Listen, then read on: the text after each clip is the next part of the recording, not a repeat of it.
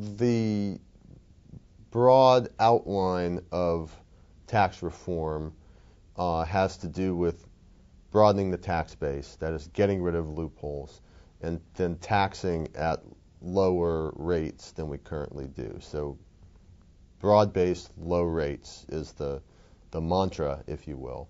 Reagan did that in the context of income tax reform, and he did it quite well. The top rate came down from 70 to 28 percent during his administration, uh, and and the base was expanded to close a variety of loopholes. I think that's the direction we want to go right now uh, in the income tax. Try to broaden the base, use the revenues we've gained there, uh, in, in, part to cut rates, in part to pay off the deficit. Uh, but the tax reform has to start with getting all the loopholes out of the system, and that's why it never starts because people don't like to give up their particular uh, loopholes. And that's why we need White House leadership saying, we are going to do this. You can be on the bus or off the bus, but, but this is where we're going, and we need your support. Obama's tax panel has uh, three challenges, uh, all of them extraordinarily difficult. One of them is the standard set of issues that any tax reform panel has. The current system is too complicated, it's inefficient, it's inequitable. We need to fix, we need tax reform to fix the system. The second challenge they have is that they're working in an era of extremely high budget deficits, and uh, uh, not only now, but forecasted to be in the next several years.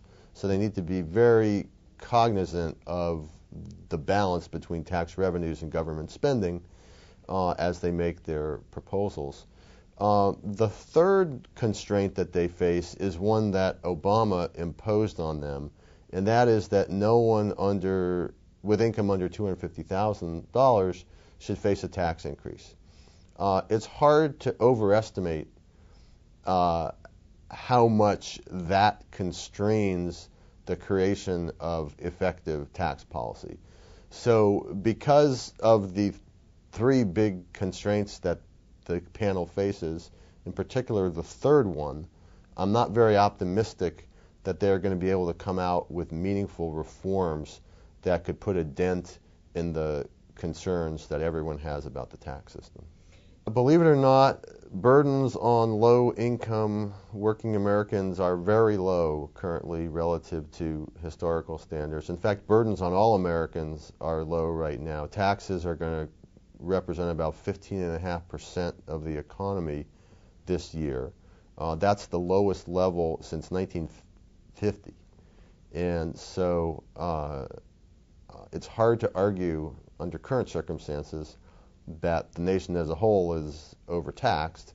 In fact, you know, we're running a deficit that's the biggest since the Second World War, uh, which suggests there's an enormous misalignment between what the government's spending and what it, what the citizens are paying in taxes. So I think we're going to have to see, if anything, tax increases in the future, uh, not more tax cuts.